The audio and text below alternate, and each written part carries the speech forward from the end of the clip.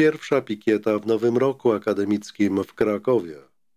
We wtorek 3 października wolontariusze Fundacji PRO Prawo do Życia zorganizowali pikietę przy Teatrze Bagatela w Krakowie nieopodal rynku, jednym z najbardziej ruchliwych oraz najczęściej uczęszczanych terenów, zwłaszcza przez młodych ludzi. Dla wielu studentów ulica Karmelicka jest drogą, którą trzeba pokonać, idąc na zajęcia, na studia.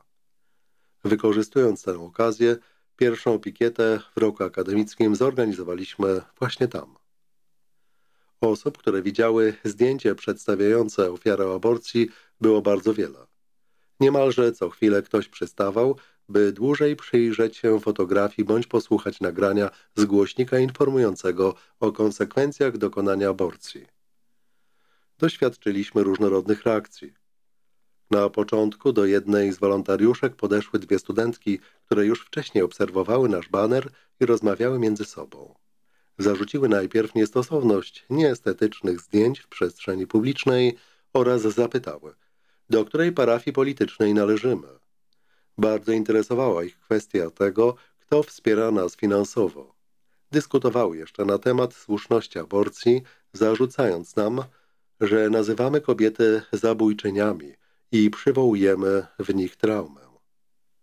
Nie chcąc przyjąć racjonalnych argumentów popartymi przykładami, na sam koniec rzuciły kontrargument ad personam dotyczący wyglądu jednej z wolontariuszek.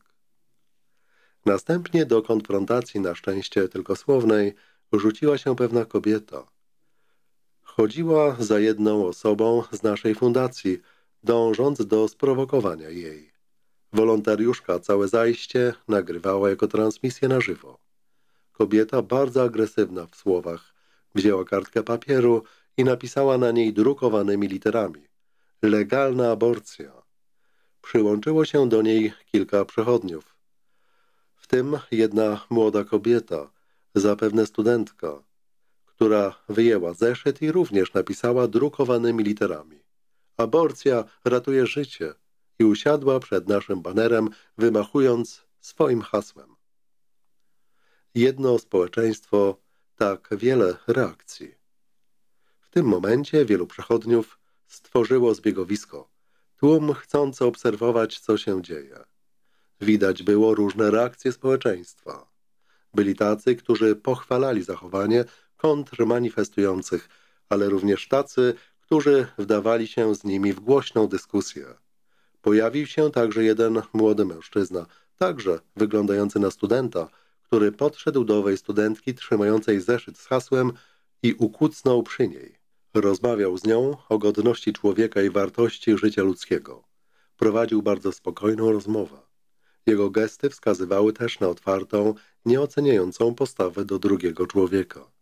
Niestety w tym hałasie ciężko było usłyszeć odpowiedzi tejże dziewczyny. W międzyczasie podchodziło do nas kilka osób przychylnie do nas nastawionych, od których dostaliśmy trochę słów wsparcia. Otrzymaliśmy również wodę w ten gorący dzień oraz kawałek czekolady. Niestety osoby popierające aborcję nie chciały z nami merytorycznie porozmawiać, a co dopiero wysłuchać. Wręcz przeciwnie. Od wielu zwolenników tak zwanego prawa wyboru mogliśmy usłyszeć wiele obelg czy wyzwisk.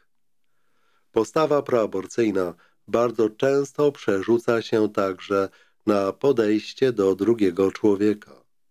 Zło należy zwalczać dobrem. Tylko wtedy zwyciężymy, kiedy będziemy odpowiadać dobrem na zło. A żeby to robić, musimy pokazywać prawdę. Na propagandę, na kłamstwo należy odpowiadać prawdą i właśnie dlatego powinniśmy ją pokazywać.